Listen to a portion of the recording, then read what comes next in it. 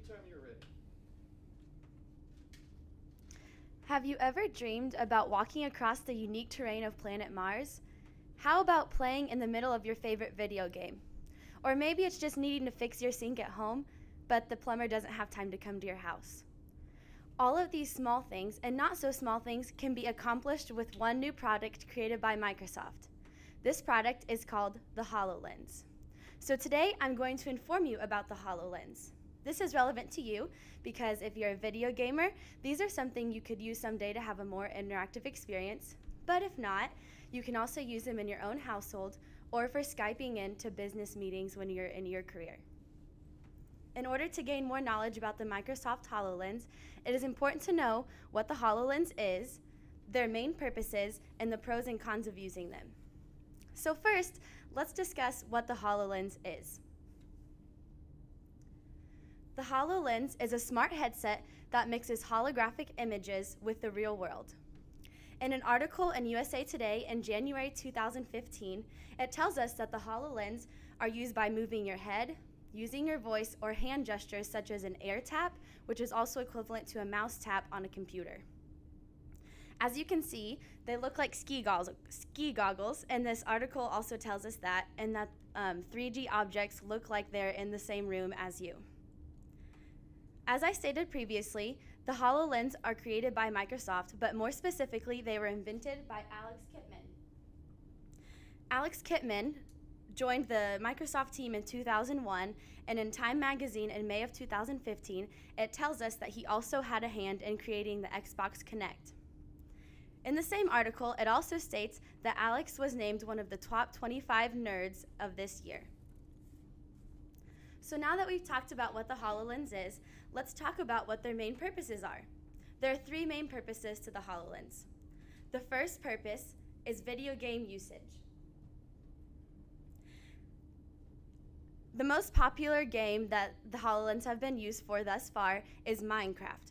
In an article in January of 2015 in USA Today, it states that that is the most popular video game as of right now, but they're hoping to expand it into more video games eventually. And the University Wire, an article in February 2015, also says that usually Minecraft is played on a screen, but now with the HoloLens technology, you can play it on your table in the comfort of your own home. You can build your town just like you would on the computer screen, but this way you can use your hands and you can still interact with all the same people that you would, but just in a more personal way. The second purpose of the HoloLens is for Skype and video calls.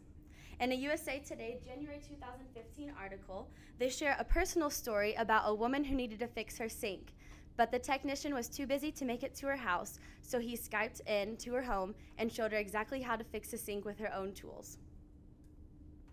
The third and final purpose of the HoloLens is the ability to go on 3D virtual tours. In the Pasadena Star, in January of 2015, it shares that Microsoft has been working with NASA.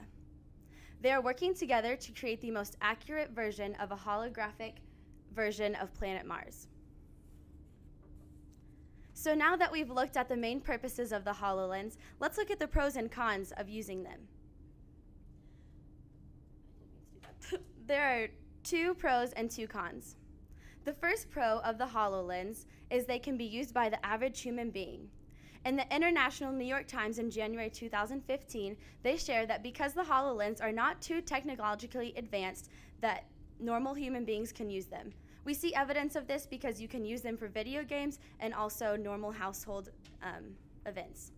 The second pro is that the HoloLens is paving the way for space exploration. In the Pasadena Star, January 2015, NASA and Microsoft have been collaborating to create a holographic version of Mars.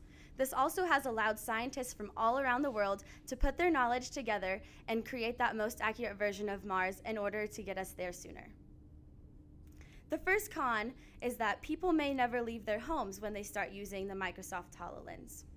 In the New York Times, January 2015, researchers share some concerns that because the HoloLens can offer so many different things, that people may not feel like they need to leave their home. The second con is that there will be less human interaction.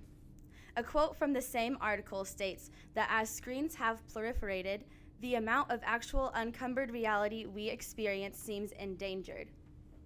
Researchers also fear that people, because they can Skype in with people from all around the world and it's in their own home, that they may not feel the need to meet with people and have face to face interaction with them. So today I have explained what the HoloLens is, their three main purposes, and the pros and cons of using them. The most important thing for you to remember is that because the HoloLens can be used by the average human being and they have practical uses, you could use the HoloLens someday in your life. So now that you are more aware of all of the possibilities that the HoloLens provides, just imagine what you could accomplish. Thank you.